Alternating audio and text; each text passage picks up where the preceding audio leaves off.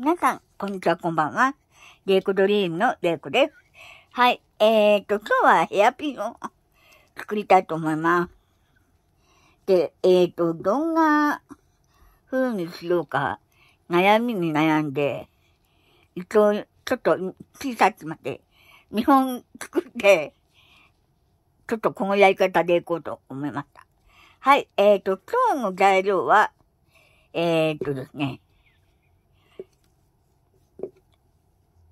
えっ、ー、と、モードはこちら、あの、ポポットさんっていう家財屋さんなんですけど、そちらで販売されているもので、はい。そして、レジン熱は、えー、キララですね。サラサラタイプです。はい、えーと、そして、着色剤が、こちら、えー、プラネタリウム。146番か、カラリーの、あの、隠れ工房さんのカラリーシリーズです。はい、えーと、そして、一応、コート、コート液を、マサルの、じゃがや、コー、コーティングマサルと、一応こっちもも用意しておきました。えーと、あ、ごめんなさいね。アングー、変えた方がいいですね。もう一回ご説明しますね、一応ね。はい、こちらはポポットさんという、風屋さんで購入したものです。えっ、ー、と、まあ、リンク、貼れそうだったら貼っておきます。で、えっ、ー、と、キラキラスタイプ、あ、キラキラ、キラキラじゃない。キララの、えっ、ー、と、サラサラタイプですね。はい、それと、着色剤が、隠れ工房さんのカラリーシーズで、えプラネタリウム146番ですね。それと一応コーティングを2種類用意してきました。星の雫、えー、UV LED コーティングレジンと書いてあります。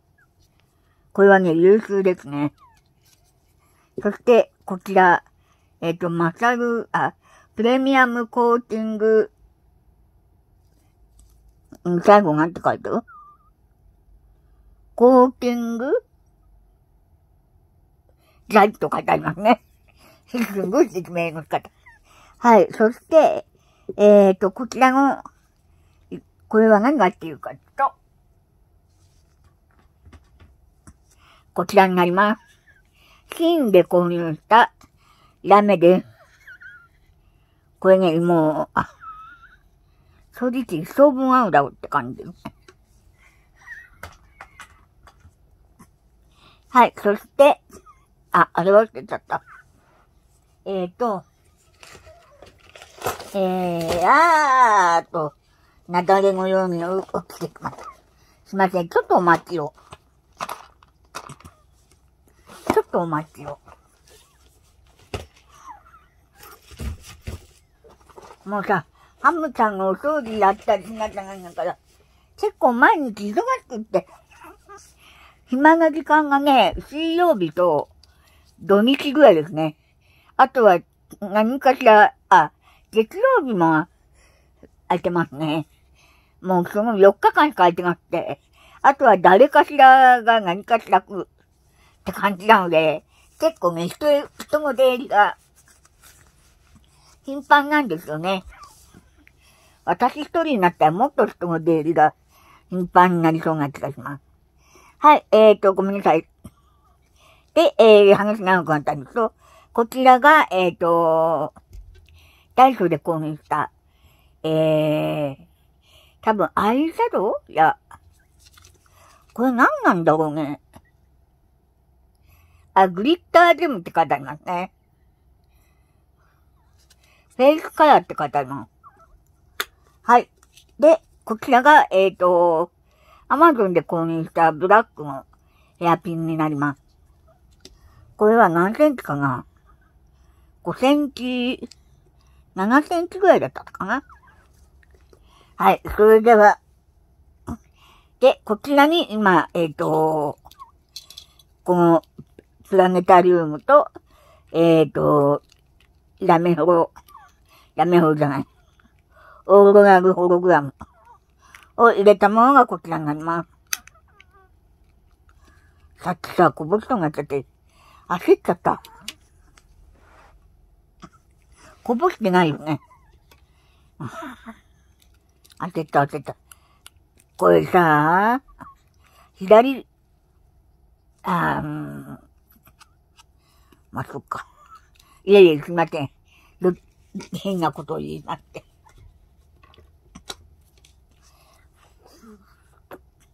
さて、それではでね、行きましょう。と、ちょっといらないものがちょっと、後ろに立ちまって、はい。ではやっていきます。まずこれを流し込みます。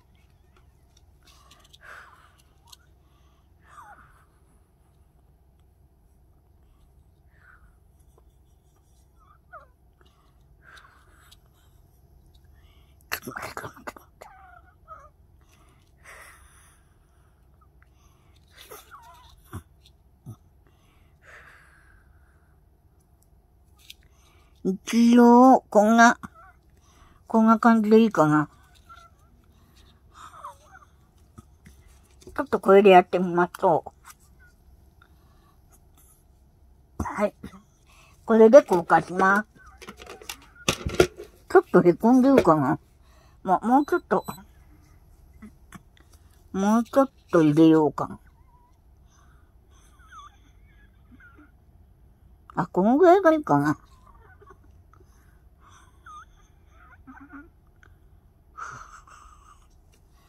このぐらいがいい。はい。で、えーと、じゃあコーティングします。コーティングじゃないや。硬化します。はぁ。いやー、まだ、ねもうすぐ9月だっていうのに、ほんと毎日暑いね。なんか暑さが長引いてました、なんか最近の季節って。なんかさ、秋がないよね、秋が。秋が少ない。まあ、もともと少ないんだけど、ちょっとね、秋がなかったりするです、最近。だからね、私もね、ね、突然夏から冬に変わったりしちゃうと、もうね、足がね、あ、足の痛みが追い痛みじゃないな。足がね、追いつかないんだか、急に寒くなるから、すっごい痛くなるんですよ。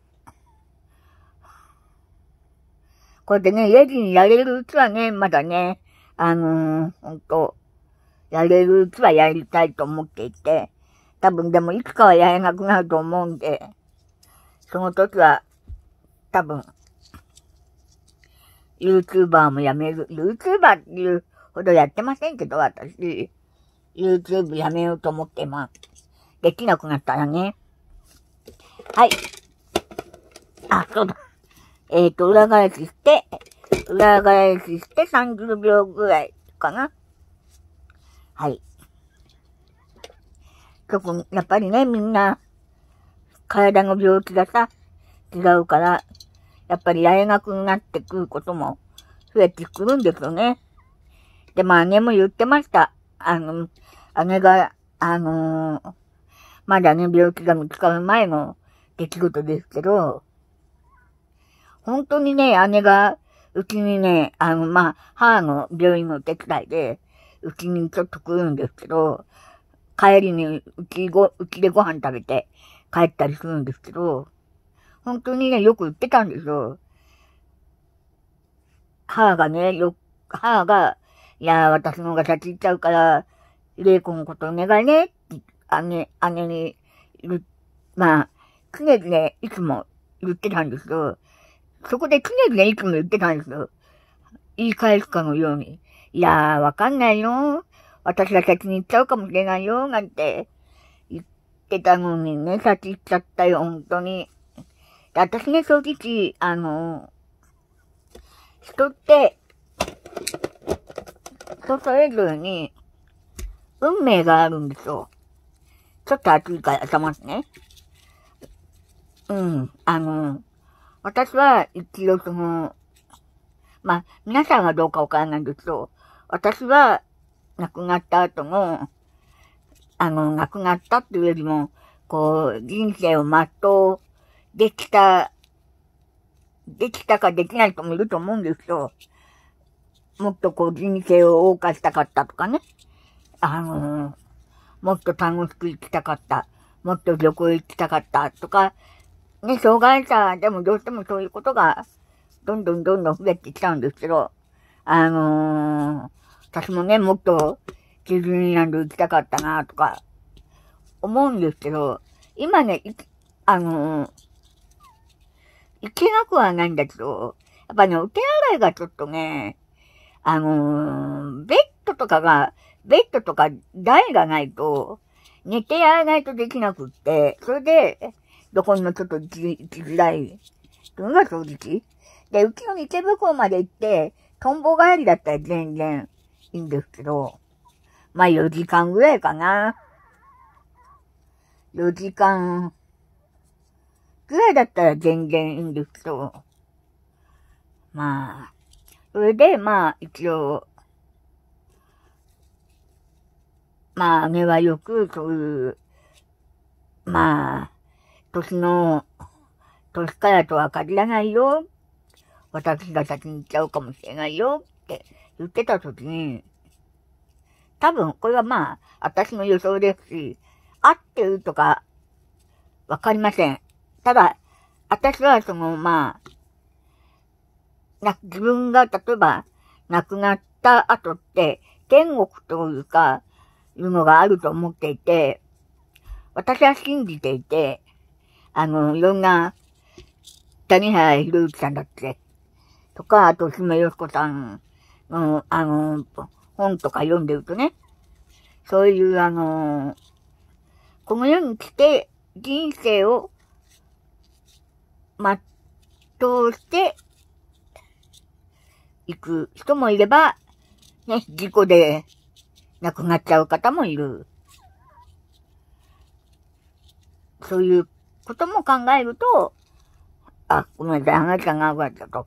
まあそういうね、姉が、そういうふうによく言ってたので、つまり何が言いたいかというと、あの、私は信じている。姉がもしそういう言葉を出してきたのは、正直、姉は気づいていないかもしれない。でも、姉の魂では、亡くなると気づいていたんじゃないかなと、私は思うんですね。だからああいう言葉が出た。姉は、自体は、そんなつもりはなかったかもしれない。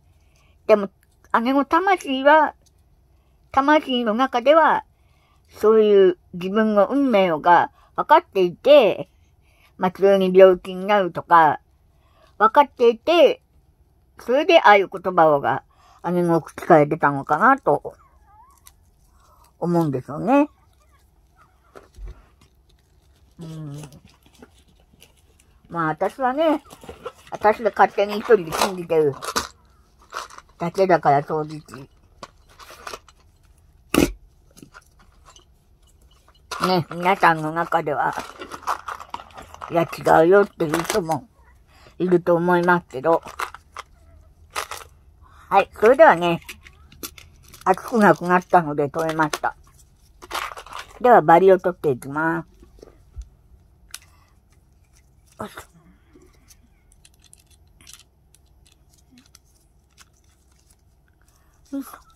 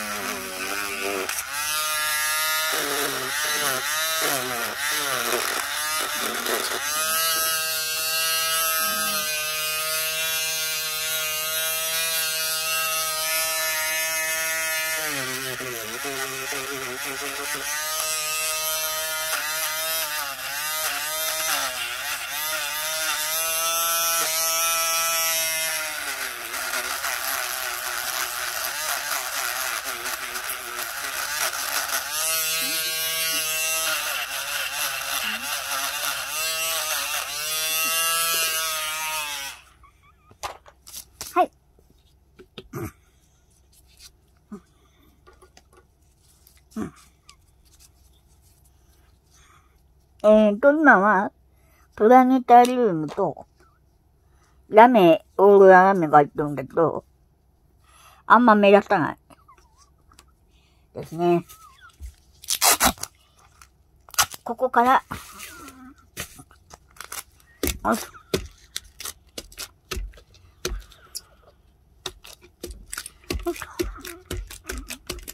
結構ね、ゴミが多い。削るとさ、削りカスが出るのね。結構出るよ。削りカスってさ、こういう、あの、なんていうんだ、細かいのって削るのってさ、カスがさ、結構、こう、粉っぽいのよね。そ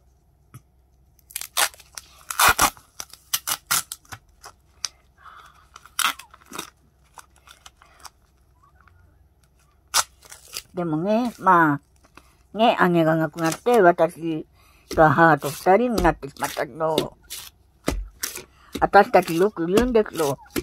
今が幸せかもねって。のんびりとさ。もしかしたら私が天外孤独感、天外孤独になるかもしれないし、もしかしたら私が先に行っちゃうかもしれないし、それはわかんないんですけど、でも私はね、意外、私も正直、あの、もちろん、よく言えばね、海外旅行行きたいとか、ありますよ、よく言えば。でも海外旅行も、まあ、それなりに3カ所ぐらい行けたし、まあ私も、母もね、やっぱり、二十歳までしか行きたいなって言うから、いろんなところに連れてってあげようと思ったんでしょうね。箱根とか軽井沢とか、沖縄、北海道、京都、って行きましたよ。軽井沢ね、軽井沢はね、結構行きましたね、何回も。友達とも行ったかな。友達と私と三人で行った時も、行ったし。はい。それでは、えっ、ー、と、まず、ちょっとこれで塗っちゃおうかな。これでちょっと仮止めと。いや、絶対こんなことする人いないと思うんですけど。こんなことする人いないと思うんですけど。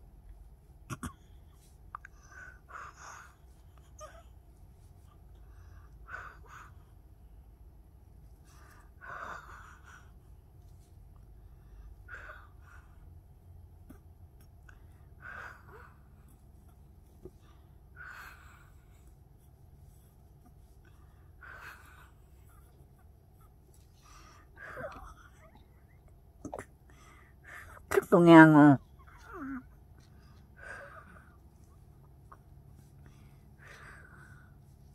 あのね、やっぱね、どうしてもね、足跡残るね。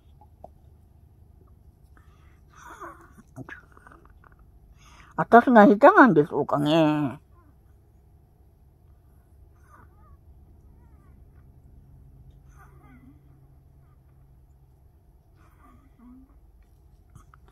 こうやって、こうやって、置いて、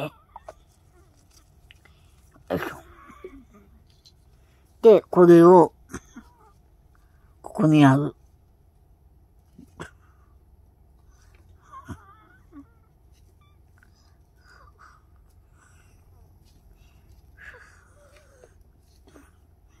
これ辺かな？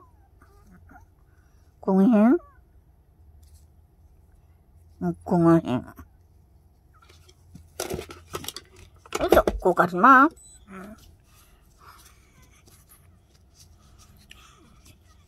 まあ、もしね、私が、今、どうな、何かあっても、私は結構、私もやっぱり、姉と同じかな。あのー、旅行とかも行けたし、日帰り旅行も行けたし、海外も行けたし、私には、私なりには楽しい人生だと思ってるので、まあ、この年に来てね、いろいろちょっと出てきたのはちょっとね、ショックですけど、もうね、お薬もね、10個以上飲んでますね、10種類以上。海洋性大腸炎の薬、甲状腺ホルモンの薬、高脂血症の薬、えー、あと何があって。何があったっけ？